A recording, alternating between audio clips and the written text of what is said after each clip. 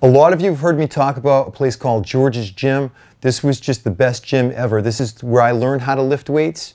And I feel so fortunate to have, you know, trained with these guys and been around these guys and learned from them. I thought it'd be really cool to, you know, profile some of the guys that, you know, paved the way for today's scene. So we're doing a new segment called Legends of George's Gym. And uh, up first in this series, which is hopefully a series, we're going to introduce you to Armand Pee Wee Turgeon.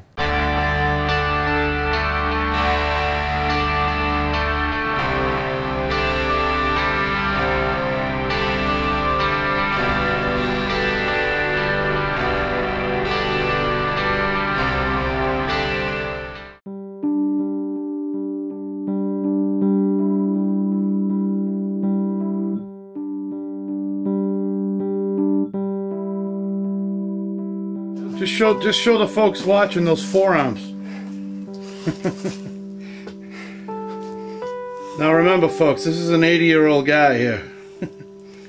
Looks more like a 40-year-old guy, tops.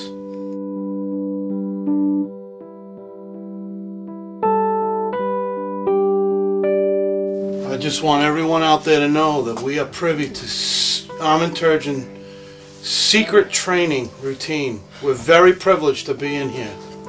Are those the plates that were at George's? Yep, that's my set. Yeah. My original York Olympic 400 pound set that I ran my first weightlifting meet in 1955 at the New Bedford YMCA. And on it lifted the great and only John Davis, world and Olympic champion.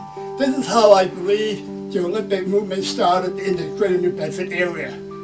I introduced weightlifting to uh, having a national, world, and Olympic champion competing.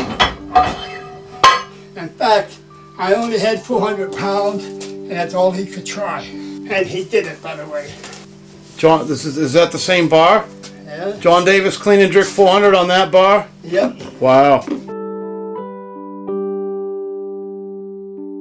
How much weight do you lift at 80 years old? Well, on a real heavy good day, I'd be going over 400 pounds.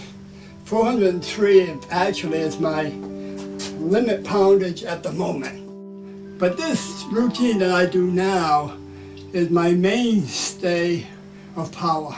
I, I rely on it completely. If I do nothing else during the week, I try to make sure I do this particular routine constantly. All of it is is stimulation to keep training and to keep trying because all of us, you reach a plateau, you get satisfied and that's it. I should be satisfied with what I'm doing. I really should be, yeah. But I want I think more. it's better that you're not, though. You I should want want more. more. And, and the reason I want more is I want to prove to myself that I can be stronger at 80 than I was at 75 because of diligent training. That's what I want to prove to myself. And right now, there's no question about it. I would say weightlifting has done a lot for me. It's kept me strong, kept me healthy. And at the moment, I take no known medication. And I'm very fortunate that I believe that weight training has really helped me to live longer